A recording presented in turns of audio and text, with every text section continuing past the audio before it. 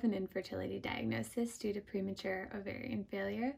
In last week's video, I talked about a clinical trial that I was involved in and some testing I got done for that. Today, I wanted to expand a bit more about that clinical trial. It's called the ROSE 1 clinical trial. It's led by Dr. Ayman Al-Hendy. Uh, it started out at the University of Illinois at Chicago. Um, so I just kind of want to do a TikTok explanation of what the trial is. So the doctor's goal is to um, treat premature ovarian failure with stem cell treatment. So the ROSE one would be to do a bone marrow aspiration of the patient, so my own bone marrow, and then um, a stem cell doctor would do his thing with the stem cells to um, then inject those stem cells from my body into the ovary. Um, they use the right ovary as the treatment and then the left as a control, um, and see if that could treat the premature ovarian failure. Failure. So the goal would be to resume um, normal hormone function and then to resume menstruation and then hopefully to get pregnant. So the trial is looking for women who've been affected by premature ovarian failure who are also trying to get pregnant because the the main thing that they're trying to test for is to see if uh, women could get pregnant um, without any interventions um, and with their own eggs.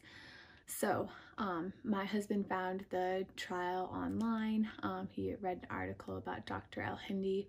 He's done this procedure before. We, we ended up going to meet him as part of getting involved in the clinical trial and he's done the procedure before. He knows that um, the, the two women that he's completed the procedure on before have resumed um, normal hormone function and menstruation, but he does not know if they've been able to get pregnant because um, he wasn't following them for that long. And then part of the clinical trial rules is that um, they're not legally allowed to reach out to those participants. They would have to rely on the participants contacting them.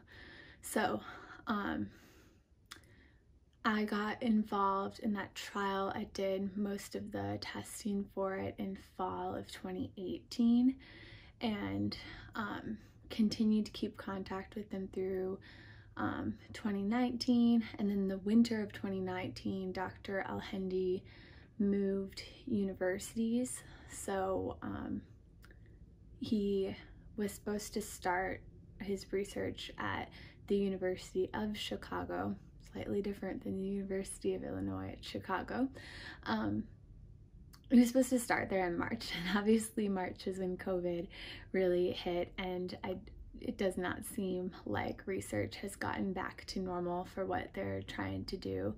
So it's really kind of on hold right now. Um, I'm still super interested in it, but obviously if you've watched other videos in this channel, you know that I'm pursuing the donor egg IVF to get pregnant, but um, I'd still totally be open to participating in the trial. I check their website every once in a while. It says it's still an active trial. Um, and there's three participants noted, but it says that they're not recruiting and I know that they're not active. Um, I haven't been contacted by anybody from the University of Chicago. I've talked to the woman who was coordinating the trial over at the University of Illinois. She says she doesn't know much about the status right now, just that it's on hold. Um, but I'm super excited for what could happen. It's just really cool that they're uh, that there's research being done on it. Dr. Al-Hendy um, seems like a great doctor, a great guy.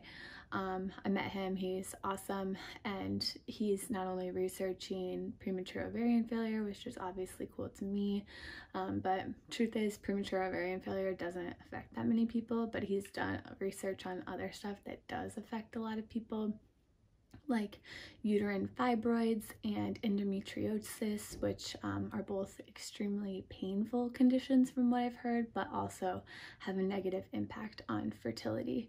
So I'm really glad that there's doctors like him that are doing research um, to help women uh, in general and then also help with fertility to help minimize the amount of people who are affected by infertility. Um, I'll definitely update on this channel if I get any updates regarding the clinical trial.